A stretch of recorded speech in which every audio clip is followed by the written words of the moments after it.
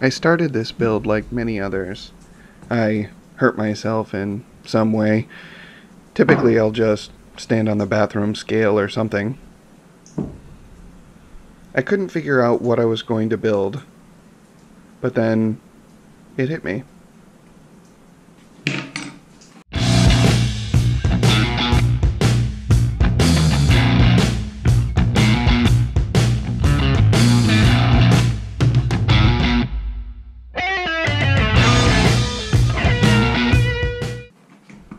First thing that I had to do was find out as much as I could about the reflex hammer.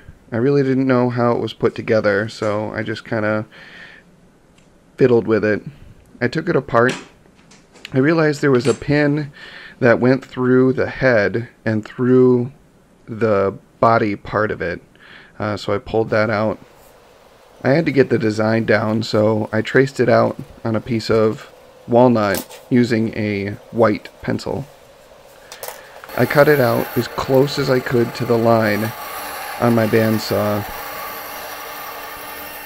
I do my best to always push objects through as far away from my fingers as possible. I've seen a couple of pretty gory images, and I don't want that to be me.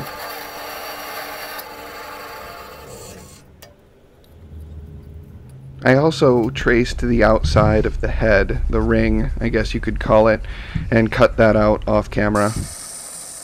I used the belt sander to shape the body of the handle to the best of my ability.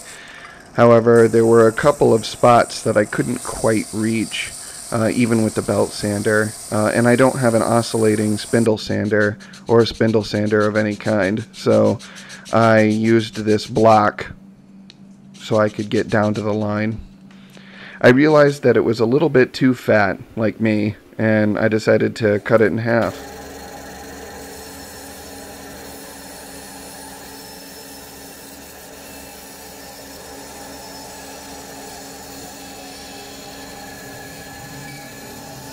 I had to get rid of the bandsaw marks on the head and on the body, so I used a big block of wood that I've got a bunch of sandpaper on and sanded off the bandsaw marks.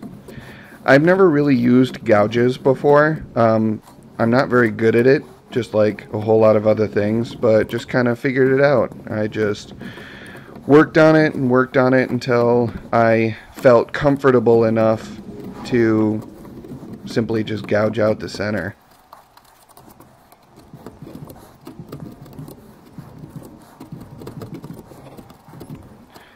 I had to use a drill bit to make the head into a ring and this was um, very scary. Uh, these were really really fragile pieces. Uh, I ended up using a half inch Forstner bit and I decided to glue these really thin pieces down uh, using some double-sided tape, super glue, and activator.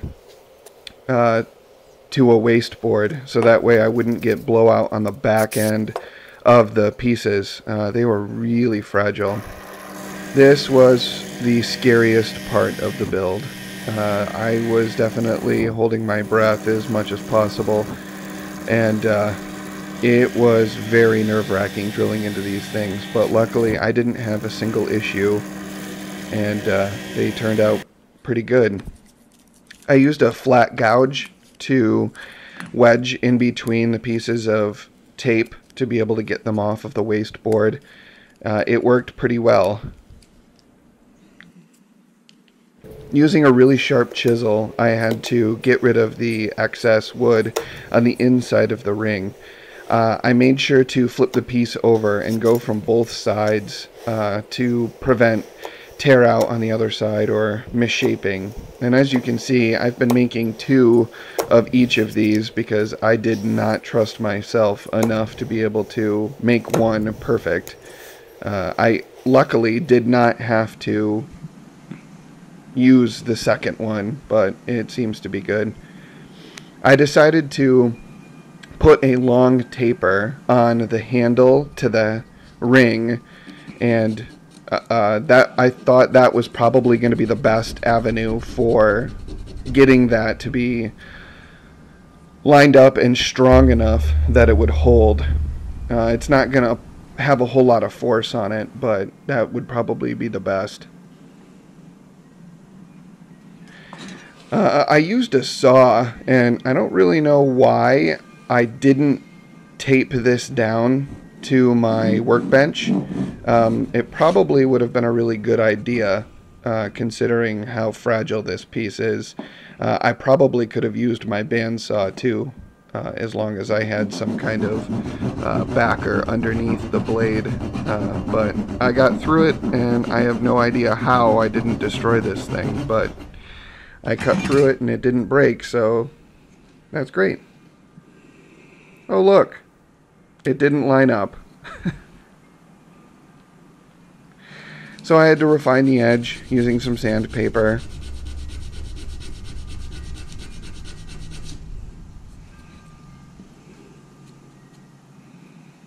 A little bit better.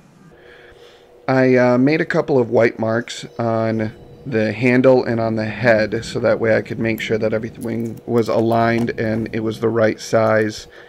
Um, with a taper like this, you could easily have this misaligned and it wouldn't work very well. Um, I put some glue on and pushed it into the fibers uh, and then had to apply just a little bit of extra glue uh, that didn't get soaked in. Um, I put the tape there basically just as uh, a way to hold it in place for just a little bit. Then I put tape on the other side and had to make sure that everything was aligned properly on all the axes. Uh, spreading the tape apart uh, so I could look and observe, I taped it and clamped it down with uh, my spring clamp. Now's the time for the actual reflex hammer head. Um, I used this piece of Niove that I had uh, it's an exotic wood from Central America, and it is just gorgeous. It's got this beautiful orange color, and I made sure to uh, use a piece with some sapwood on it. Just like the handle before, it was just a little bit too fat, like me, and uh, so I decided to cut it down with my table saw using a piece of walnut as a spacer uh, I glued it to that so my hand would be pretty far away from the blade. I probably should have had some kind of backer piece on this uh, just to prevent it from moving and kickback, but uh, it turned out okay. I took some really light passes, as you can see here. Uh, I only took off about a 16th of an inch at a time uh, until I got it as thick as I wanted. But I'm kind of stupid, and I cut off all of my drawings, so I had to put that back on. And uh, just like everything else, why make one when you can make several? Uh, lots of sanding, lots of bandsaw, but that's it. Alright, now that our reflex hammer is finally done, we're going to be finishing. And I have decided to do a three-part mixture. It's oil-based polyurethane, a mineral spirits, and linseed oil. I actually got the idea from David Picciuto from Make Something, so make sure to check him out as well. This is our reflex hammer handle. Uh, it is incredibly tiny and very fragile, so we're going to apply lots of coats to this, very, very light coats. Um, this is the hammer's head, and it's actually made out of Niove which is an exotic wood. Very cool looking. Alright, so what we're going to do is we're going to make our finish. And I don't need very much because this is obviously a pretty small thing, so I'm just going to make a very small amount. I'm going to suck up one milliliter of boiled linseed oil. And this is polyurethane. This is oil based. So again,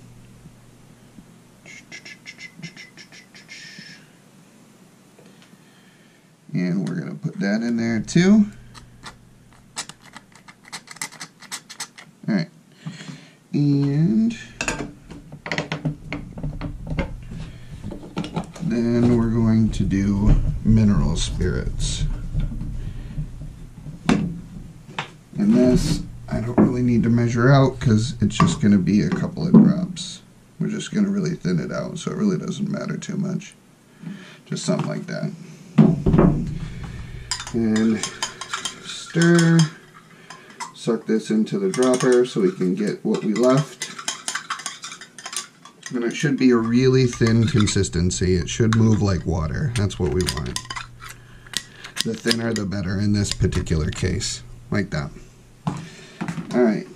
Now, clean rag.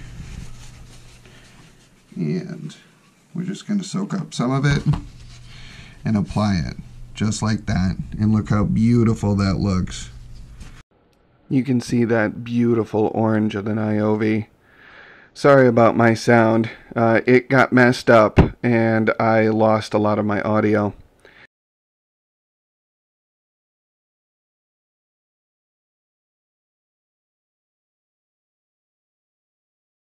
I'm very excited about the walnut, how that turned out.